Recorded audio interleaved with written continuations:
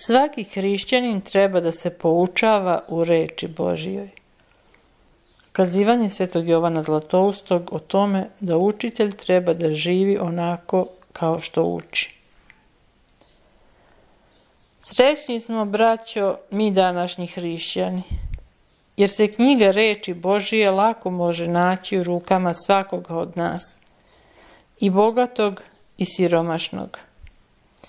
Samo nemoj sedeti skrštenih ruku, lati se reči Božije, čitaj i poučavaj se. Nažalost, danas je ipak malo onih koji rado čitaju reč Božiju. Započnite ovome razgovor sa ljudima iz naroda i oni će vam umjesto svakog odgovora reći pa mi smo ljudi neprosvećeni i neobrazovani. Obratite se ljudima koji za sebe smatraju da su obrazovani, pa će se veoma često i tu ispostaviti da su oni čitali svakojake knjige o zemaljskom i da su ih po hiljadu puta proučavali, ali da ni jednom Bibliju nisu uzeli u ruke. Rđeva od ovoga jednima i drugima.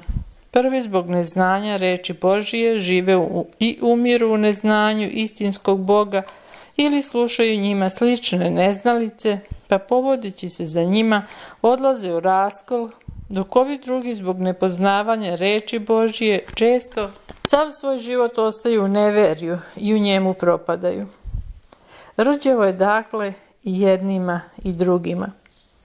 Čime postaći poučavanju reči Božijoj i ove prve i one druge? Predlažemo njihovoj pažnji besedu svetog Jovana Zlatoustog. Ako nas ne slušaju, daj Bože da poslušaju makar velikog vaseljenskog učitelja. Gospod je kazao, veli sveti Jovan Zlatoust, da je svaki književnik koji se naučio carstvu nebeskome kao domaćin koji iznosi iz riznice svoje novo i staro. Ivanđelji po Mateju 13.52 Književnik je onaj ko sa trudom i marljivošću proučava sveto pismo, koji iznosi riznicu iz starog i novog zaveta i u svoje vreme tu riznicu posredstvom poučavanja deli sa drugima.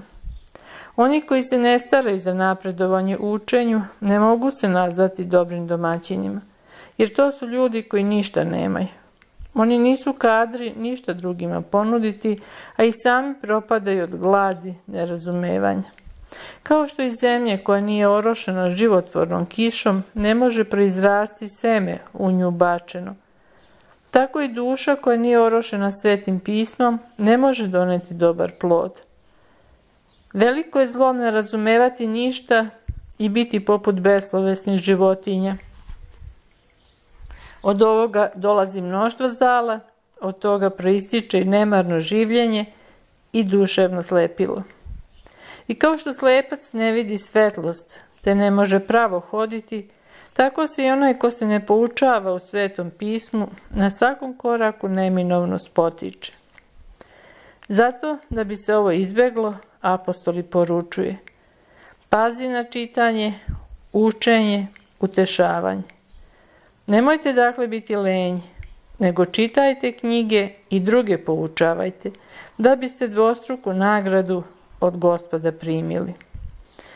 Na ono na što vas poziva sveti Jovan Zlatoust, pozivamo vas i mi. Ne budite nemarni. Čitajte i slušajte sa pažnjom reč Božiju, jer ona je istinski neiscrpna riznica spasonosnog znanja. Ona će vam otvoriti izvor uzvišenih božanskih istina i pravila življenja.